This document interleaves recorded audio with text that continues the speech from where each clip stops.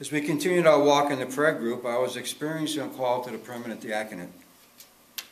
After a time of prayer, I asked the pastor if he would sponsor me to enter into formation for the Archdiocese of Chicago. He agreed and my application was submitted. We, we were called in, we were called in separately, I was called in and Ann was called in separately. And we were interviewed. It didn't take long after the interview for a rejection letter to come back to my pastor. And he had to call me and tell me that we were rejected. And I couldn't understand why. I thought for sure that that was part of God's plan for, for us to go into the diaconate program. So he did not give a reason, and my wife and I were disappointed and perplexed as we thought that would be in God's plan for me. I rationalized that this was a temporary setback and life goes on. I continued being an active member of St. Teresa's Charismatic Prayer Group, attended annual conferences sponsored by the Catholic Charismatic Renewal for Chicago, acronym CCRCC. I use that on the rest of the talk, not the whole term. If I had been accepted into formation for the permanent diaconate, three years later I would have been ordained. As it turned out, that day, the CCRCC was having elections for new members to serve on the board, on the service team. I was one of the candidates, so I had to attend the meeting with thoughts of diaconate ordination happening at Holy Name Cathedral. I was really stressed that day. I was elected with two others to serve on the board. I came to realize that this was happening according to God's plan, not mine. I served just short of 20 years in that position.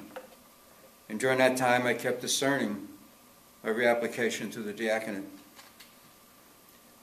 I shared my call with the liaison to Cardinal Bernardin for CCRC, and we began to pray together and seek the Lord in his decision.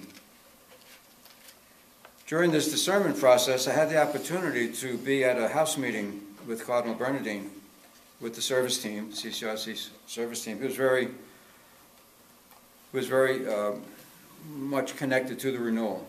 He, he, thought that it was great for the church, and he supported us in every way he could.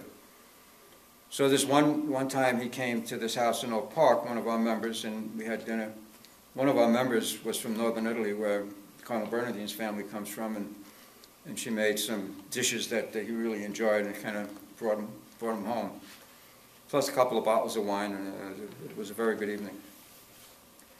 Now, when he was dropped off, uh, Father Vilo was his uh, driver, and um, he had someplace else to go, so he just dropped the cardinal off and left.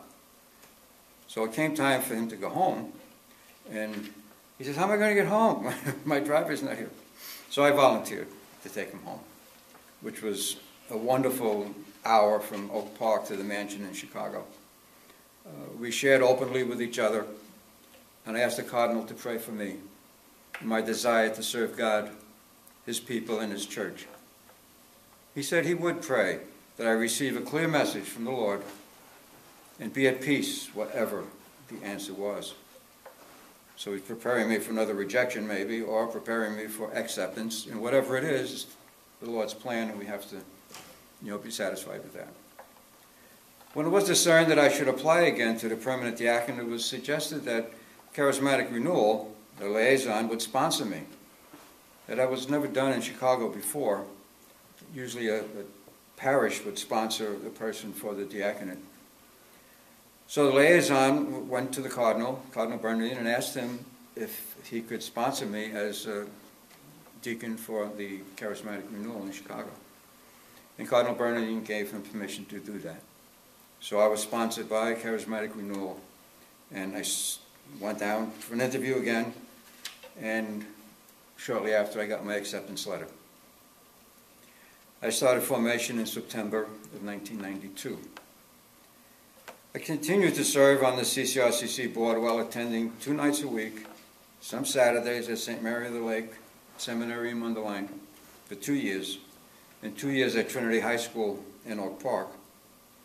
And at that time, the wives had to go with their husbands to these classes. So Ann and I both off we went to these classes. They've changed that a little bit since, but um, the wives were very important to support their husbands through this process. At any time, if the wife said that she was not going to support her husband anymore in, in the formation, uh, they would just pull the plug on, on the deacon, or the proposed deacon. Because if you're not going to get, you know, acceptance from your wife and help in, in ministry afterwards, they didn't want to cause any marriage problems. They weren't trying to, you know, cause marriage breakups, they were trying to strengthen us by, by working together. So we have worked together uh, for all these years, and, and it's been a blessing.